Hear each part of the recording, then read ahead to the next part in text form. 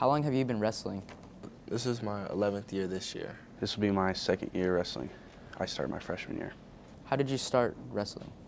Uh, my mom worked with the wrestling coach and just, he asked if I wanted to do it and I was like, sure, why not? Um, I played on the freshman football team and Coach Dent, which is one of the wrestling coaches, was my coach and just talked me into wrestling because I don't know, he just liked my attitude in football, so he wanted to see that in the wrestling room. How did you prepare for state? Focus, go harder in practice, you know? Practice really hard, got a lot of time with the coaches, and you know, just did whatever I could. How'd you do? I took fifth.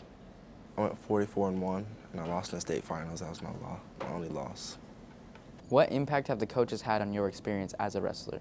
Uh, a lot. They really care about us and just train us to be the best we can. Um, I don't like they're really close with you. Like they're really good guys. Like you know, they're like dads to me. They're really nice. Jro, describe the championship match. Uh, I was really nervous. I couldn't think straight and you know just tried to put everything out there, but fell short. For like uh, when you make it to the finals, there's like a parade so like you run out all the first and second, like run out in the middle of the mat in front of like everyone in the arena. It's just like it just feels so good and like this rush goes through you and you just feel excited and it's like a, a good accomplishment. Even if you don't win, just making it there is just great. It's like best feeling in the world. Nathan, describe your final match. Okay, we went into the third period and there was about like let's say like 30 seconds left and I took him down right on the out of bounds line, and I was up 2-0, and then I just rode him out the entire time for the rest of the match and won it. Why are you a wrestler? What do you like about it? Because everything depends on how you perform. It's not like you have to depend on anyone else. It's just you depend on yourself. I don't know. You just get like that feeling, like, like when you get your hand raised, it's like the best feeling ever. Like, and like it's just fun. I don't know. It's hard to explain, but it's a good feeling. What are your plans for the future? Do you plan on going to college?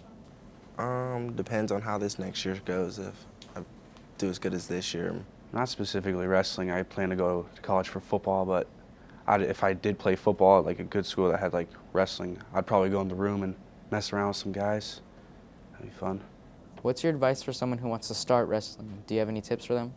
You have to be dedicated and have the right mindset because it's really hard. Um, you know, just try it out. If you don't like it, then you don't like it, you know. What was your most defining moment this year as a wrestler? Oh, my favorite match was at Moon Valley in the finals. We went in overtime, and the first takedown wins, and I took him down, and just the crowd went nuts because it was a good match, a close match. So. Okay, well, this wasn't the final match. It was probably like the third round, and I had this kid. I've wrestled him three times already, and it goes like back and forth every time. And he's from Mountain Ridge. He's really good. And um, the state tournament, I beat him like six to one or something, something like that. And it was I went in like triple overtime. So that was like your rival. Yeah, he's he's good. He's only a junior now, so next year will be even bigger rival. What would you tell people who've never seen a wrestling match? Very intense. It's fun. It's like it's not girly. You know what I mean? And it's like, I don't know. I want to see people get thrown. I hate when people say that wrestling's like, you know, not whatever. And I just tell them like, come in the wrestling room and I'll show you. I'll show you what it's like, you know?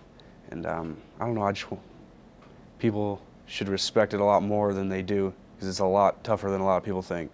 Wrestling's for real men, bottom line.